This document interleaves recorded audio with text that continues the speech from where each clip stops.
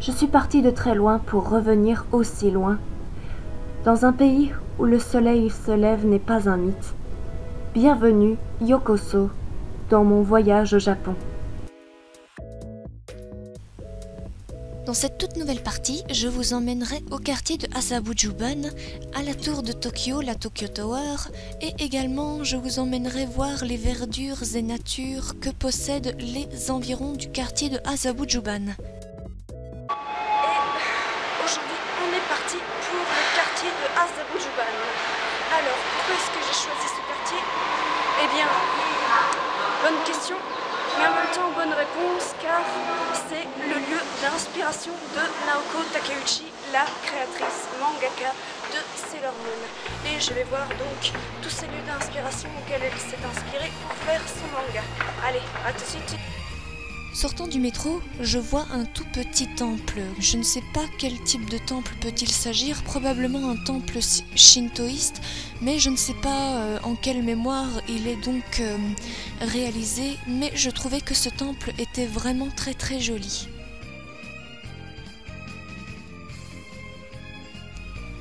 Commençant la balade à travers le quartier de Azabujuban, je vis que les habitations étaient très raffinées avec un petit air de France.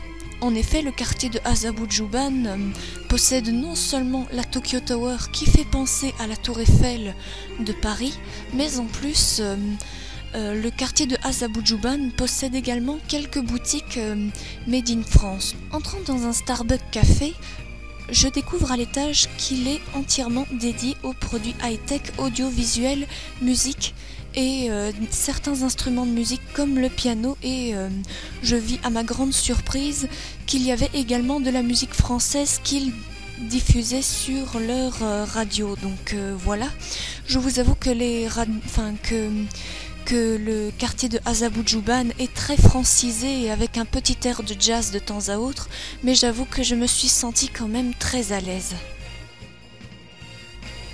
Les DVD que proposait cet étage étaient infinis. En effet, il y avait beaucoup de DVD qui venaient du monde entier et euh, je pèse mes mots parce que je vis euh, ben, du Disney, des, des films euh, venant de, la DreamWorks. euh, Enfin, vraiment, il y a plein euh, de DVD qu'ils proposent ben, en version Blu-ray ou version ordinaire. Et franchement, j'avoue que cet embarras de choix de DVD m'a laissé quand même complètement bouche bée. Et je vous laisse entendre un petit peu cette ambiance musicale qui est vraiment très jazzy.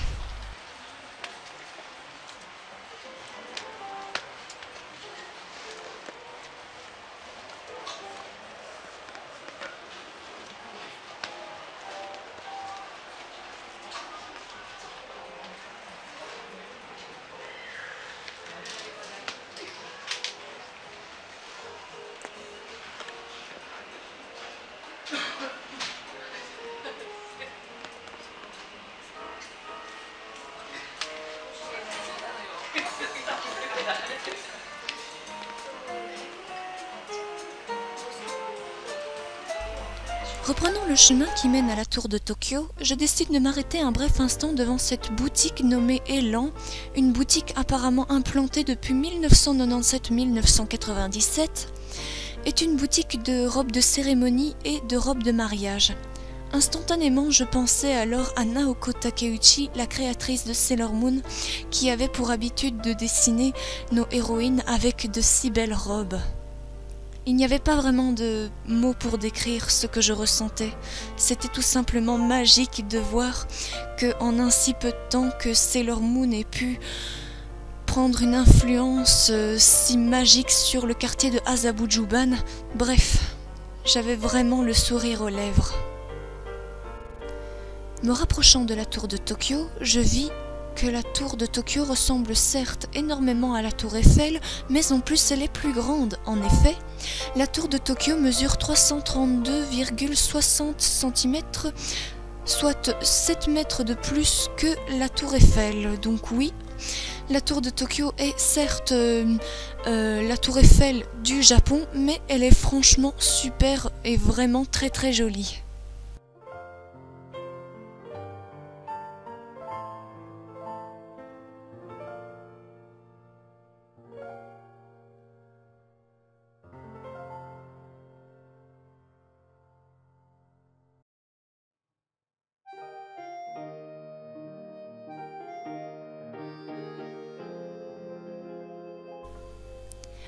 Mètres de la tour de Tokyo, je décide de m'arrêter pour prendre encore quelques photos telles que ces magnifiques camélias japonica que l'on ne retrouve uniquement au Japon et parfois dans certaines régions d'Europe, mais j'avoue qu'ils sont vraiment magnifiques.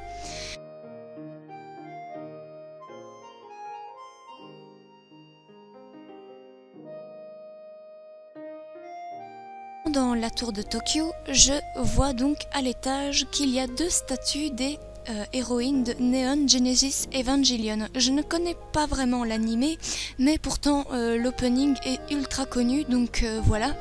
Si vous voulez le regarder, le lien est tout en haut à droite, donc franchement j'avoue que j'en ai toujours des frissons quand je regarde l'opening de Neon Genesis Evangelion. Ce que je suis en train de filmer n'est autre que euh, le futur emplacement de la tour de Tokyo euh, dans les années 40. Car oui, à la fin des années 40 ou au début des années 50, voire même le courant des années 50, euh, cet emplacement qui a été choisi. Donc les anciennes habitations ont été rasées pour construire la fameuse tour de Tokyo. Je remarque également au premier étage, à ma grande surprise, le café One Piece. Et oui, le café One Piece existe apparemment depuis un moment, je ne sais pas depuis combien de temps exactement, mais je remarque donc que le café One Piece est accompagné également d'une petite boutique officielle, donc pour les fans de Monkey D, Luffy et Nami ainsi que tous les autres personnages célèbres de One Piece, c'est le moment de faire un petit tour dans euh, cette boutique et ce café qui va vous régaler.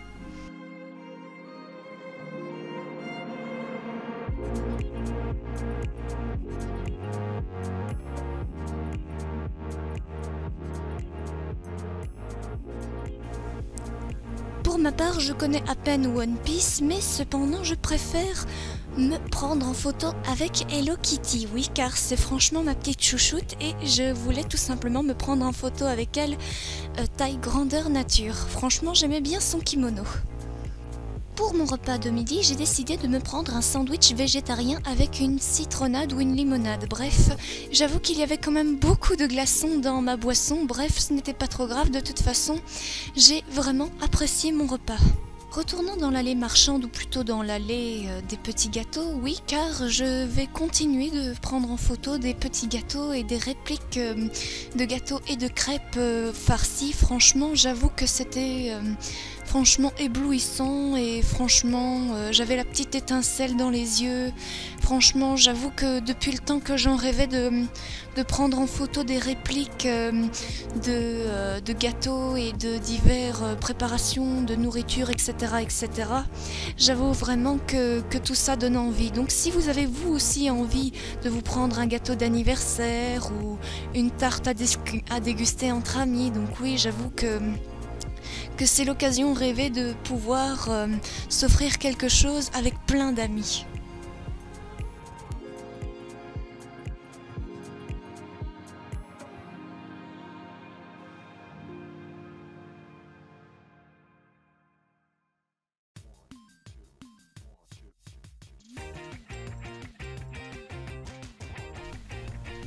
Les autres allées marchandes proposent également de nombreux souvenirs à acheter et à offrir à vos amis.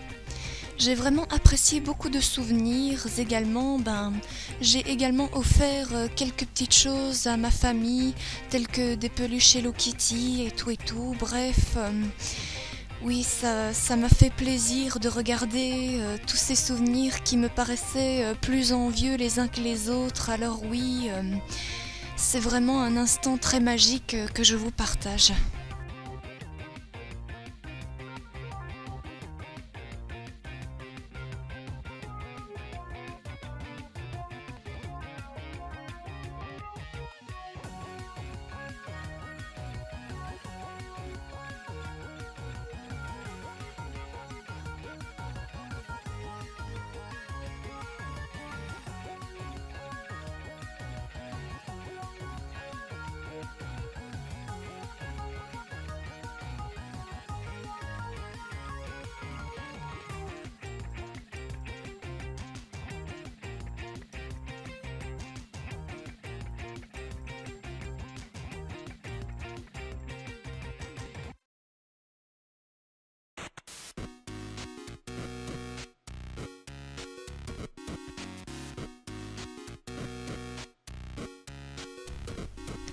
Faisant un dernier tour à l'étage, je prends un maximum de photos euh, de la boutique manga qu'il y avait à l'étage euh, de la tour de Tokyo. Alors oui, je prends des photos des vocaloïdes, enfin des, accessoires produits vocaloïdes, ainsi que des figurines, mais également de d'autres univers différents tels que Natsume no Yokai ou encore Pokémon.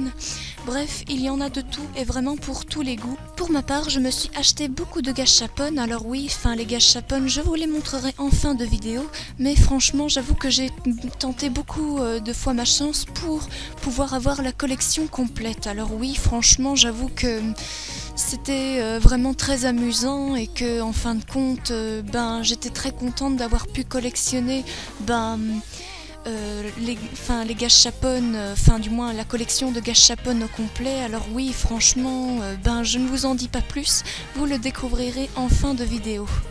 Vraiment, j'aime beaucoup cette boutique et peut-être reviendrai-je un jour aussi.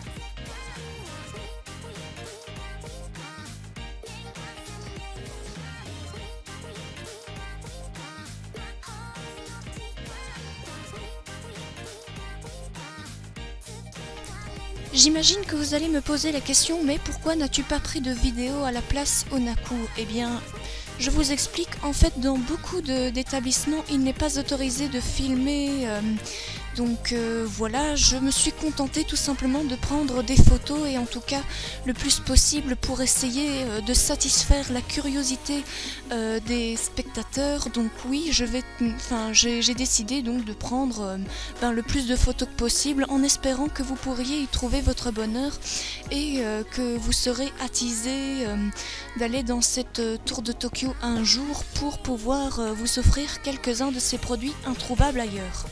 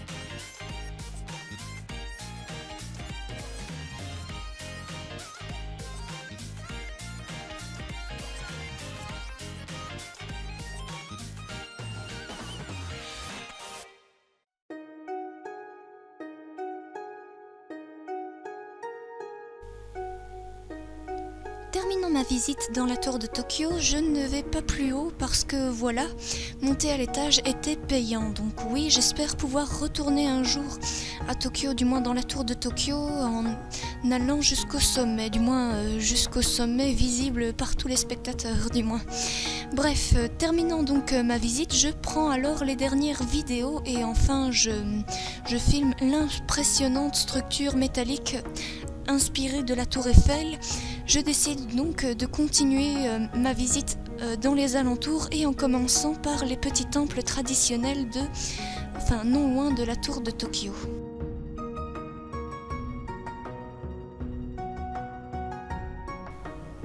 Dans ces alentours, la nature m'avait vraiment et réellement charmée.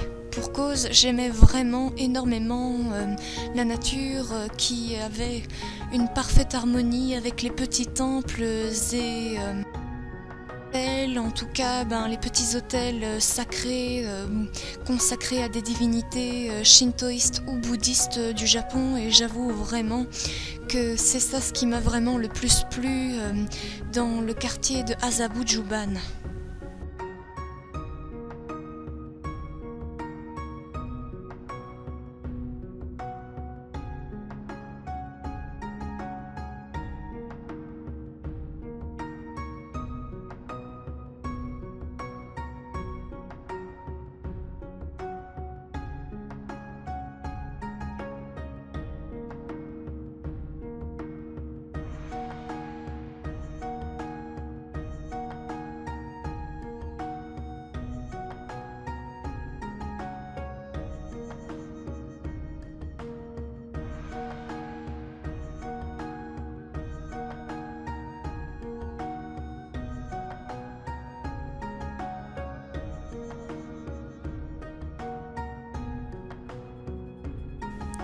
Me sentant alors très apaisée, je remarque alors sur ce panneau d'affichage qu'il est écrit ne rien jeter. Donc euh, voilà, ne rien jeter sur euh, ces plantes. Euh, oui, c'est pour des raisons évidentes de respecter la nature. Et pour les pauvres idiots qui aiment bien encore polluer, eh bien réfléchissez à deux fois avant de jeter vos déchets là-dessus parce que ces fleurs sont vraiment très très jolies.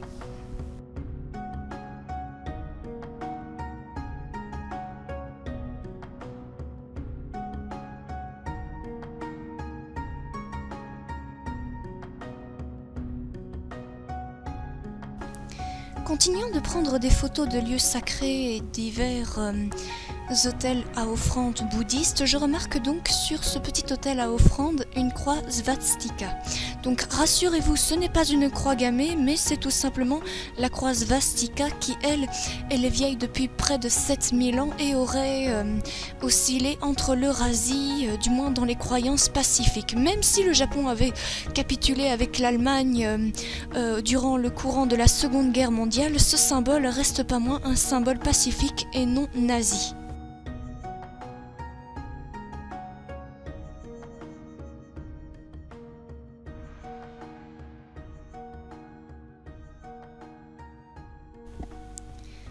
Faisant de dernières photos de la tour de Tokyo ainsi que les lieux sacrés euh, euh, de la tour de Tokyo, enfin du moins des alentours de la tour de Tokyo, je euh, profite alors des derniers instants et prise alors de belles photos de tous les alentours qui m'avaient vraiment plu, marqué. J'avoue que je n'arrêterai pas de le dire, mais franchement cet endroit m'a vraiment beaucoup plu et je pense que je pourrais vraiment y retourner un jour et qui sait, peut-être y vivre.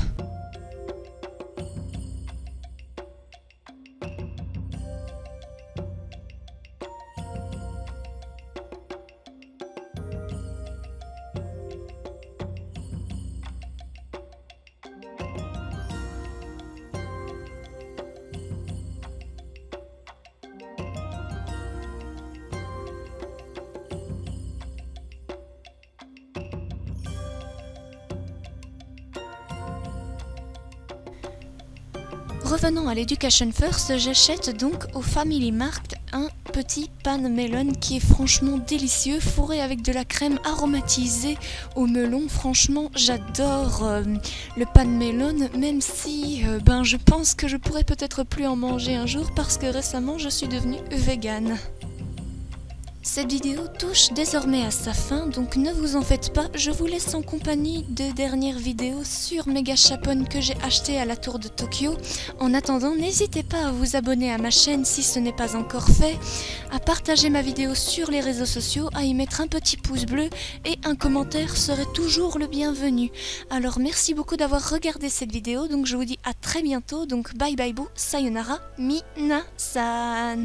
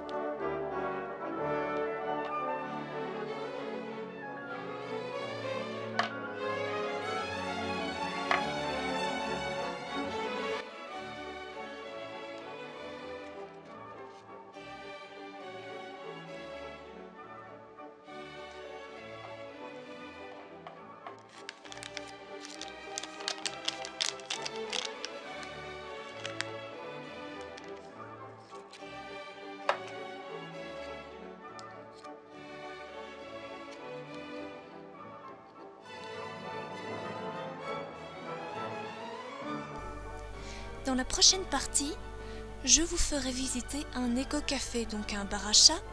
Je vous emmènerai également visiter le temple de Gotokuji et euh, je vous montrerai donc mes derniers instants passés à Tokyo. Donc euh, je vous donne rendez-vous pour la prochaine partie. N'hésitez pas à y mettre un petit pouce bleu, à partager, à commenter. Ça ferait toujours super plaisir. Moi je vous dis à très bientôt. Donc bye bye bye. Sayonara minasan.